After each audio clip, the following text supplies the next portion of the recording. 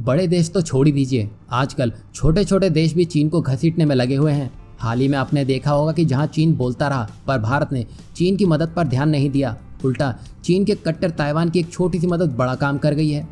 यहाँ हुआ ये कि चीन ये सोच रहा था कि वो रूस के साथ मिलकर रूसी वैक्सीन स्पूतनिक वी को चीन में बनाकर दुनिया भर में वाहवाही लूटेगा। पर रूस ने चीन से वो भी छीन लिया। दरअसल स्पूतनिक वी वैक्सीन की मांग बढ़ने के साथ ही इसकी आपूर्ति सुनिश्चित करने के लिए रूस चीनी कंपनियों के साथ संपर्क में था।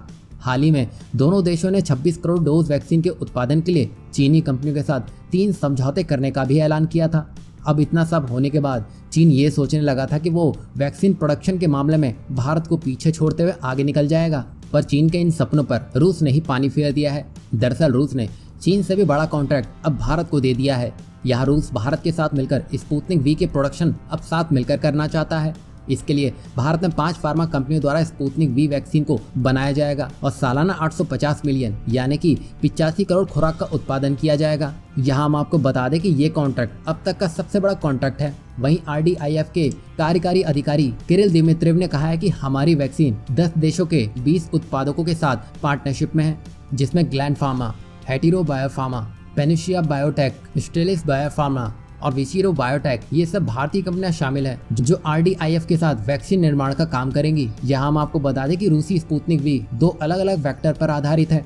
ऐसा इसलिए भी किया गया है ताकि कोरोना के खिलाफ लंबे वक्त तक एंटीबॉडी बने रहे, जबकि बाकी वैक्सीन की दोनों डोज एक ही वेक्टर पर आधारित होती है। और ये Sputnik V vaccine corona virus के खिलाफ इक्यानवे दशमलव छह फ़ीसदी असरदार साबित हुई है और इसकी दो अलग अलग खुराक 21-21 दिन के अंतराल में दी जाती है। यहाँ हम आपको बता दें कि स्पुतनिक वी वैक्सीन को 60 देश मंजूरी भी दे चुके हैं। इसमें UAE, Belarus, Siberia, Bolivia, Argentina, Venezuela, फिलिस्तीन, अल्जीरिया, तुर्कमेनिस्तान और पैराग्वे शामिल है। और इस वैक्सीन का नाम रूस की पहली सैटेलाइट स्पूतनिक के नाम पर रखा गया है। अब यहाँ पर रूस की इन वैक्सीन से भारत आने से भारत में वैक्सीनेशन की प्रक्रिया तेज होगी, जो कोरोना को हराने में कारगर साबित होगा और इन वैक्सीन के कारण दोनों देशों के संबंध और भी ज़्यादा मज़बूत होंगे। जो ज़ाहिर सी बात है, चीन तो पचा नहीं सकेगा।